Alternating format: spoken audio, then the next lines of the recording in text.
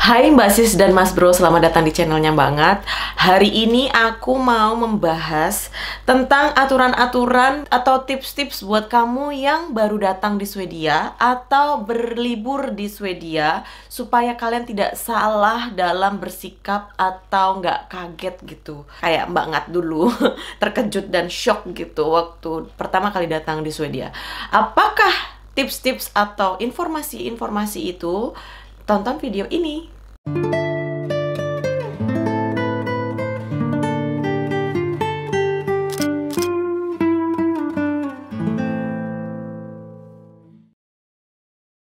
buat klan-klan yang baru datang di Swedia atau mungkin turis gitu yang baru berkunjung mungkin sebentar-sebentar aja please please tonton video ini dan dengarkan baik-baik supaya kalian tuh nggak bikin kesel orang gitu atau nggak kaget juga dengan uh, yang terjadi atau kebiasaan kebiasaan-kebiasaan yang ada di Swedia. Yang pertama, yang paling penting itu adalah di tempat umum, yaitu ketika kamu di kereta uh, itu kamu please deh jangan berdiri di depan pintu gitu. Berdirilah di samping sebelah kanan atau kiri pintu karena dahulukan orang yang mau keluar baru nanti kamu bisa masuk.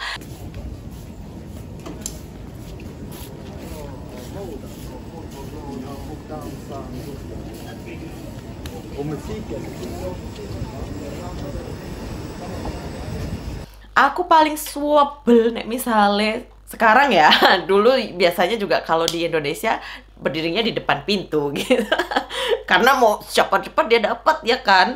Tapi kalau di sini please itu ngeselin banget. Sama kayak aku juga ngerasa kesel sekarang. Kalau misalnya setiap kali aku udah nunggu di sebelah kanan kiri gitu terus tiba-tiba ada orang langsung aja berdiri di depan. Dan selalu aja tipikalnya adalah bukan orang Swedia atau ya kelihatan kalau mereka itu pendatang gitu loh. Bukan bermaksud rasis ya, tapi mungkin aku nggak tahu mereka nggak tahu atau mereka nggak mau tahu, tapi please buat teman-teman Indonesiaku, kalian tolonglah tolong berdirilah di sebelah kanan dan kiri dan sabar menunggu untuk orang yang di dalam keluar dulu baru kita bisa masuk ke dalam kereta. Tenang aja, nggak akan ditinggal gitu loh sama keretanya. Dan jarang banget kereta itu sampai penuh sesak gitu kecuali memang jam-jam pulang kantor atau jam-jam sibuk. Berikutnya, perlu kamu tahu bahwa lift itu atau his atau apa sih bahasa meneh pokoknya lift itu digunakan bukan untuk kalian-kalian yang normal gitu. Jadi bukan buat kalian yang bisa jalan normal bukan buat kalian yang sehat yang muda gitu dan lift itu sebenarnya digunakan untuk orang yang tua, pensiunan, orang tua, sepuh, yang susah jalan, yang nggak bisa jalan, yang pakai walker, atau buat orang tua yang bawa stroller kayak gitu. Nah, bukan buat kalian-kalian yang sehat walafiat gitu. Tapi ini lucu banget. Itu sebenarnya aturannya ya. Cuman aku adalah anak mager sedunia seperti kalian-kalian yang uh, makan nasi ya kan. jadi kalau misalnya naik tangga tuh kayak ngos-ngosan gitu orang kuat gitu rasanya. Makanya selalu uh, mencoba pakai uh, lift gitu. Tapi sebenarnya aku kalau pakai lift itu jujur li ya aku seolah-olah aduh lagi sakit nih gitu. Aduh kayak pura-pura lemas atau nunggu ngeliatin kalau nggak ada orang gitu baru aku naik lift gitu. Tapi kalau ada orang lain misalnya uh, mereka pakai stroller atau mereka orang tua itu ya aku coba nungguin mereka duluan atau ya udah deh aku naik tangga gitu karena malu. Cuman kadang-kadang kesel juga ya. Misalnya aku udah uh, bawa stroller gitu. Terus tiba-tiba ada yang sehat gitu sehat. Kayaknya nggak ngapa-ngapa sih mbaknya ini atau masnya ini. Kenapa sih pakai naik lift gitu? Terus kadang-kadang ada bahkan yang sampai ngebiarin uh, orang tua itu nungguin setelah dia gitu loh naiknya. Jadi kayak ih kayak nggak tahu diri banget sih gitu loh. Jadi please kalian teman-temanku yang aku sayangi dan aku cintai please kalau kalian di Swedia di Stockholm terutama jangan naik lift kalau kamu keadaannya sehat. Please ambil tangga. Dan lagi juga uh, ternyata pemakaian lift itu adalah tidak whole bore head. Jadi banyak orang di kantor atau di mana pun di sekolah mereka memilih atau mungkin apartemen ya apartemen yang tiga lantai gitu itu harganya mahal walaupun nggak ada liftnya. Aku tuh aku tuh kayak what?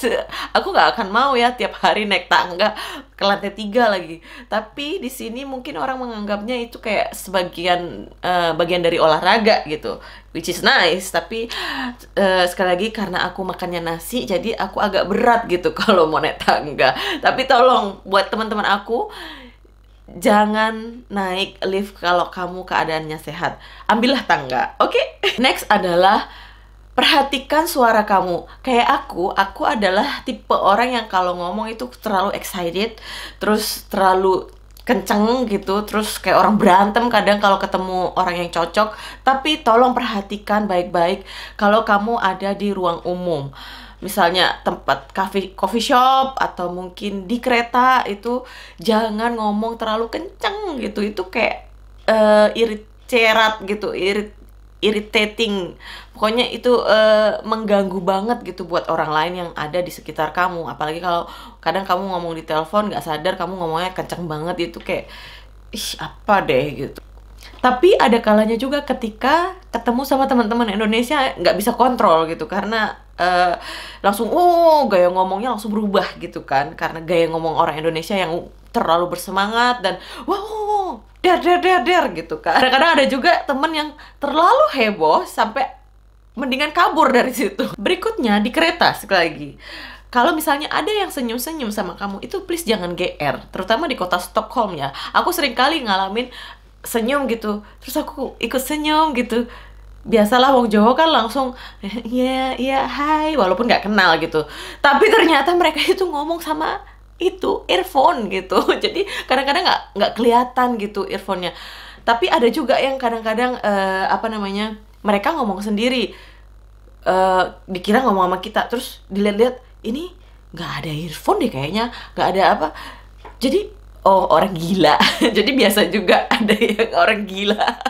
Jadi nggak usah heran gitu kalau kamu menemukan orang yang ngomong sendiri tanpa earphone gitu. Tapi juga harus hati-hati ketika ada orang ngomong terus ngelihat kamu atau senyum sama kamu itu belum tentu dia ngomong sama kamu karena dia ngomong sama orang lain yang ada di telepon Berikutnya adalah ketika kamu belanja di Swedia, terutama lebih ke grocery ya, belanja kebutuhan sehari-hari kayak di supermarket gitu. Kamu nggak usah heran kalau kamu ngeliat orang nggak mau uh, beli kantong plastik gitu dan bahkan kadang ngebawanya tuh sampai sini bawa ini bawa ini bawa ini bawa segala macam sampai jatuh-jatuh kadang uh, atau dimasukin ke tas tapi sisanya juga dipegangin kayak gini sepanjang jalan itu biasa banget. Karena apa? Karena itu adalah whole bore head atau uh, support to sustainable. Jadi mereka tidak mau membeli plastik karena itu merusak lingkungan. Jadi kalian kalau misalnya beli Indomie misalnya nggak usah deh pakai plastik-plastik gitu. Bawa aja gitu nggak usah malu.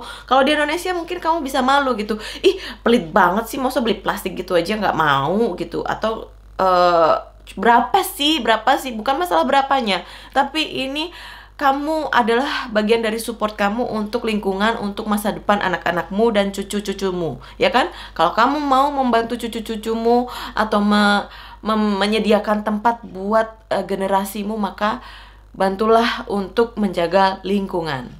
Berikutnya adalah lagi-lagi di kota. Jadi kalau di kota kalau kamu menemukan penyeberangan-penyeberangan yang tidak ada lampunya, itu kamu bisa langsung menyeberang gitu. Nggak usah nunggu karena aturannya adalah kalau kamu kalau tidak ada lampu merah maka kamu langsung jalan dan pejalan kaki itu diprioritaskan. Jadi mobil itu wajib atau harus berhenti gitu. Wajib ya walaupun ngelihat kita masih di pinggir aja mobil itu sebenarnya wajib untuk berhenti. Tapi tetap harus hati-hati karena banyak pengendara ejian gitu ngeselin. Aku suatu hari juga pernah uh, bawa anak gitu terus tiba-tiba anakku nggak mau aku harus pegang stroller terus anaknya nggak mau jalan terus dia mau ke arah yang berlawanan terus aku harus berjuang untuk membawa strollernya dan narik anakku supaya nggak eh, nggak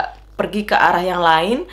Dan itu di di tengah uh, uh, cross crossroad gitu di tengah uh, penyeberangan.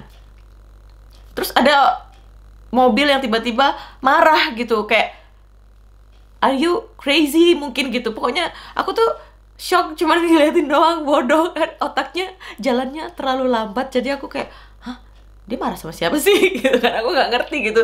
Cuma setelah jalan setelah jalan lagi baru kepikiran kayak dia marah sama aku. Why? Gitu kan. Goblok gitu. Nah baru aku miso miso misonya telat gitu ya kan.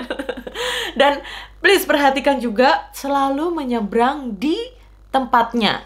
Di penyeberangan jalan. Jangan pernah menyeberang sembarangan yang oh di sini nyebrang. Oh itu lebih berbah berbahaya lagi. Ya kalau di kota ya kamu pasti tetap akan terus melihat lah banyak yang melanggar peraturan ini. Tapi ya kalau kita bisa mengikuti aturan why not?